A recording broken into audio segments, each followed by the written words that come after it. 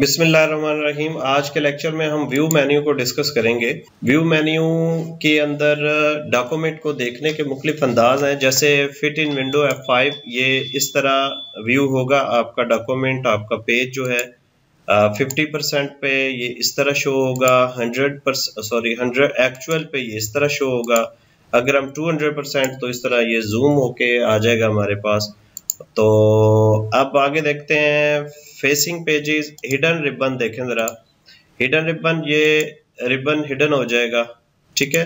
और ये facing pages के, जैसे हमने पहले या दूसरे लेक्चर में पढ़ा था कि अगर आपने कोई बुक वगैरह दिखानी है तो फेसिंग पेजिंग वो शो करता है। तो यहाँ से उसको हाइड भी किया जा सकता है, यहाँ से। इसको क्लिक करेंगे, वो फेसिंग पेजेस हाइड हो जाएँगे। अगर फिर क्लिक करेंगे तो वो शो हो जाएँगे।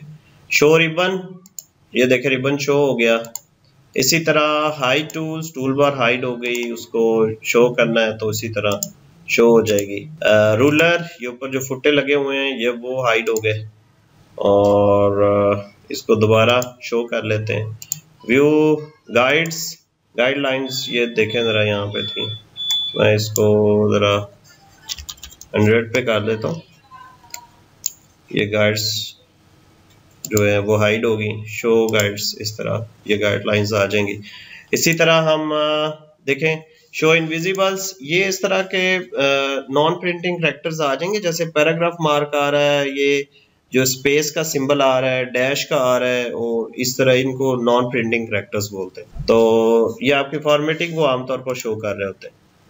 इसी तरह इसको हाइड इनविजिबल करेंगे तो ये खत्म हो जाएँगे। स्नैप टू गाइड्स का मतलब ये होता है कि देखें ये मेरा ऑब्जेक्ट है, जैसे मैं ये गाइड्स के करीब लेके जाता हूँ तो ये मकना चीज़ की तरह इसके साथ जो है, वो चिपकता है।